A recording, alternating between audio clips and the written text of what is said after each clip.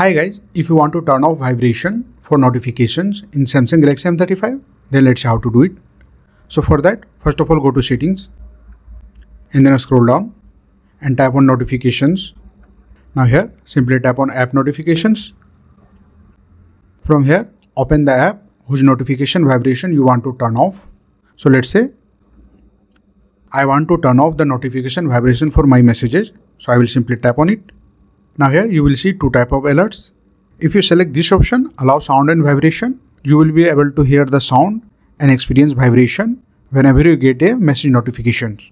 But if you select this option silent, sound and vibration both will be disabled.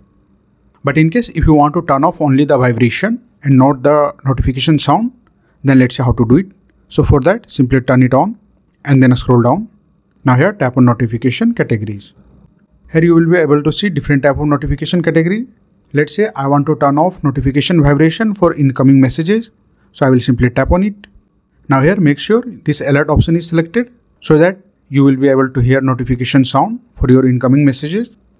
And to turn off the notification vibration, simply scroll down and disable this vibrate option. Once you disable this option, now you will not experience any vibration for your incoming messages.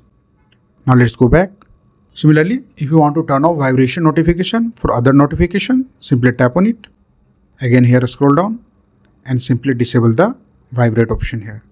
Now again, you won't experience any vibration for other notifications on your messages. So you can see how simple it is to turn off notification vibration. For the example, let's check any different app. So go back. Now let's say I want to turn off notification vibration for my Gmail. So I will simply find the Gmail here it is. I will simply tap on the Gmail and then I scroll down and I will go to the notification categories. Now let's say I want to turn off notification vibration for my new mail. So I will simply tap on the mail option here. I will keep selected the alert option for the notification sound.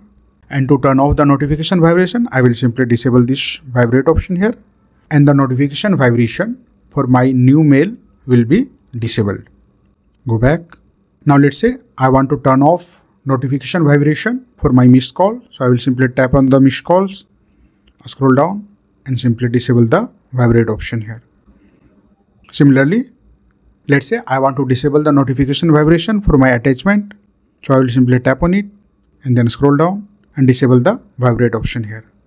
So that's it guys. This is how you can easily turn off notification vibration for any apps in Samsung Galaxy M35. If you like this video, please subscribe the channel.